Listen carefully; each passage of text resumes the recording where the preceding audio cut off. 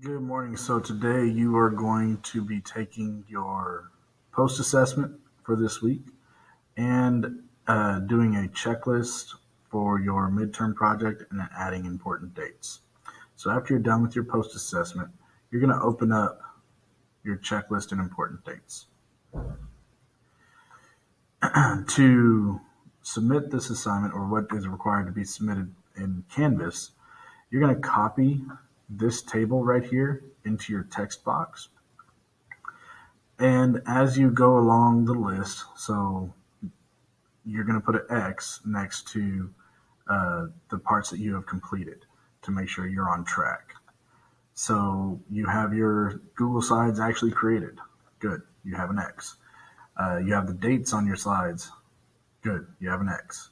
You have them in correct order. That's that's X um, the information uh, with the correct dates. There's an X. Uh, and the images relate to the event. There's an X. So as you go along and making sure you have uh, everything on your timeline, you'll put an X next to what's what's been done.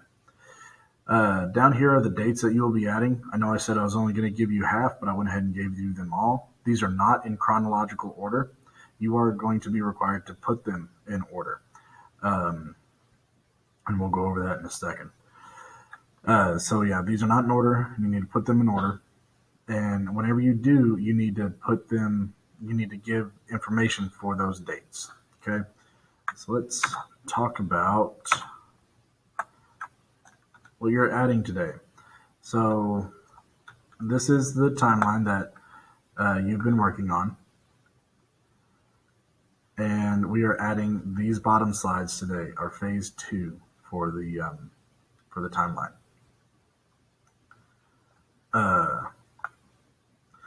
so you have January 20th, 1942 has the information and the image that goes along with it. February 1942, information that goes along with it and the image. You have to make sure these dates are in order.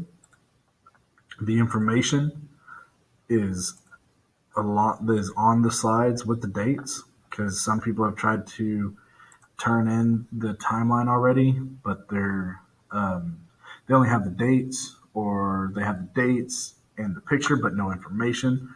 Uh, and the image doesn't tell you anything about that date. Um, so please make sure you have your dates, your information, and a picture. All three things are required on the timeline. Um, if you do not uh, have that, I'll be releasing the uh, rubric today as well. I'll post that today. Uh, I meant to post that earlier this week, but I forgot to. So uh, you can see what is graded and how you are you will be graded on this project. Um, if you have any questions, please um, message me. Um, in the previous video on here, uh, I told you about when it's due and expectations on it.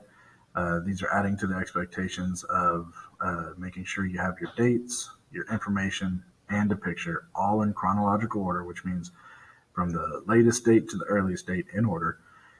Um, I've got all that taken care of. And please make sure your checklist is turned in for today. Yeah, if you have any questions, message me.